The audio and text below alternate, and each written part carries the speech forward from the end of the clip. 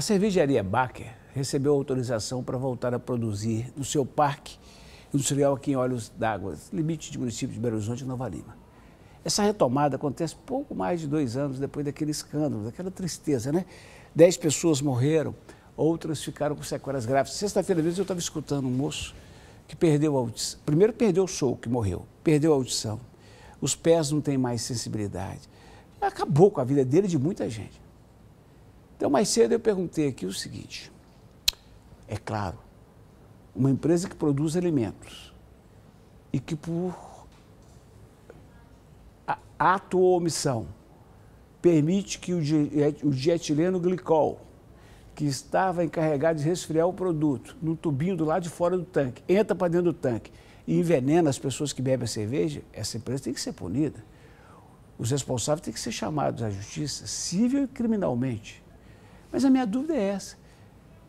Será que se a gente proíbe a empresa de funcionar, se tivesse feito isso com a Vale, né? por causa de Brumadinho e Mariana, se tivesse feito isso com a Petrobras por causa da roubalheira, a gente ajuda ou atrapalha?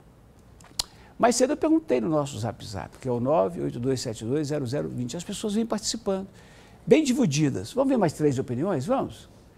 Bom dia, Eduardo. A cervejaria Barca, na minha opinião, só voltaria depois que pagasse todas as indenizações. É a Ângela. Vamos ver agora a opinião de Lucília. Se for para voltar, que põe a mão na consciência do que aconteceu com as famílias. E agora, Célio Lara, sim, eu acho que a Baker deve voltar a funcionar. Vamos ver a reportagem? Há mais de dois anos, a vida da Flávia e do marido Cristiano mudou completamente.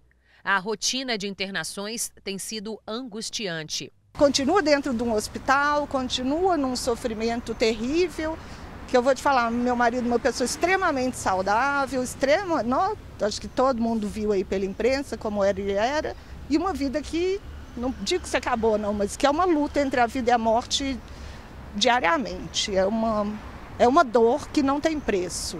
O professor Cristiano Gomes foi uma das vítimas intoxicadas após ingerir a cerveja Belo Horizontina. A cervejaria Três Lobos, responsável pela Baker, anunciou que vai retomar a produção no Parque Industrial, localizado no bairro Olhos d'Água, em Belo Horizonte.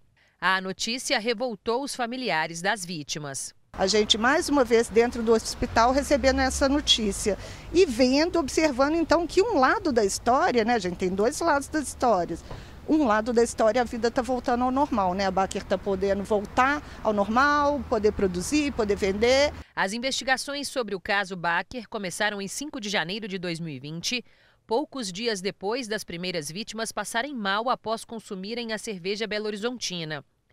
Segundo a Polícia Civil, 29 pessoas foram intoxicadas. Elas desenvolveram uma síndrome que causa insuficiência renal aguda. 16 das vítimas sequelas graves, como cegueira e paralisação da face. 10 morreram.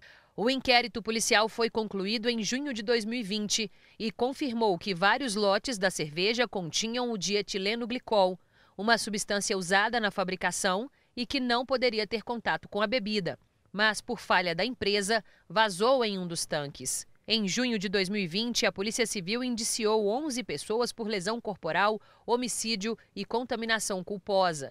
Em setembro do mesmo ano, o Ministério Público ofereceu denúncia contra 10 envolvidos na contaminação.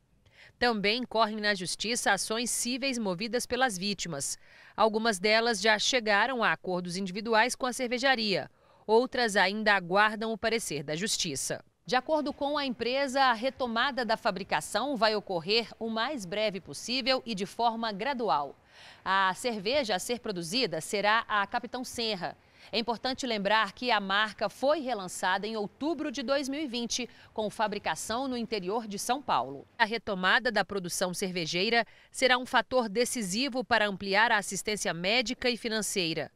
Já a Secretaria Municipal de Meio Ambiente da Prefeitura informou que a liberação do empreendimento para a produção comercial cabe ao Ministério da Agricultura e que a licença ambiental emitida permite a operação para a produção em formato teste para que seja submetida à aprovação do Ministério. O Ministério da Agricultura confirmou que a liberação foi concedida de forma parcial para duas adegas no Parque Industrial da empresa. O órgão esclareceu ainda que a empresa atendeu às exigências feitas para garantir a segurança dos produtos e que o processo de produção da cerveja no parque vem ocorrendo desde novembro de 2021, após vistoria feita por auditores federais.